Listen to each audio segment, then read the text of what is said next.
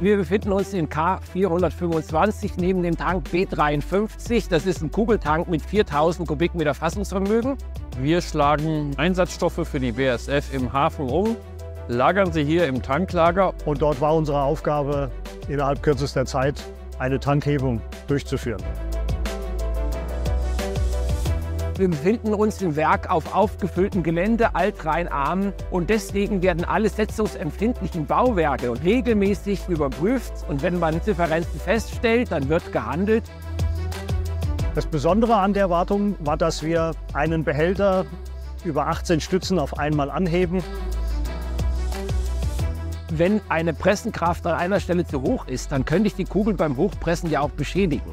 Und deswegen ist exakt vorzuplanen, welche Pressenkräfte gebe ich drauf. Jedes Fundament war individuell angepasst. Dann kamen nochmal separate Stapelhölzer, um die kleinen Pressen in die große Kammer auf Höhe bringen zu können. Und dann eben noch Stahlteile, die wir eingelegt haben.